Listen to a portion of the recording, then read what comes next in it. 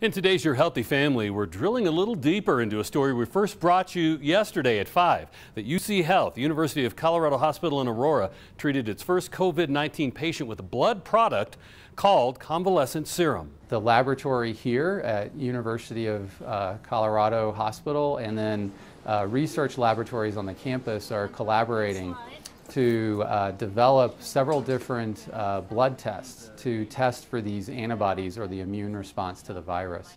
And so we're hoping with uh, the collaboration between the research side and the, the clinical laboratories that we could have a, a, a uh, serum test available for people uh, hopefully in a, in a short period of time. We're hoping weeks.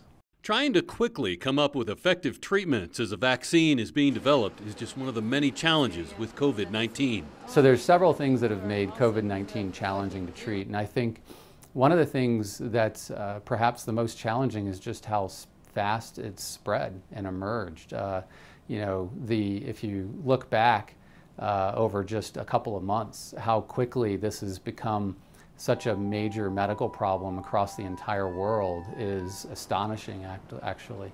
The good thing about the convalescent serum approach is that it's been used before. Previous uh, virus uh, outbreaks or pandemics, uh, people have been faced with the same question of can you take the serum from someone who's recovered and potentially provide it to someone who's sick and see if they improve. So this was done with the influenza outbreak in, in 1918. This was done uh, also with the original SARS epidemic uh, in China back in 2002 and 2003. It was also done actually in the Ebola outbreak in Africa.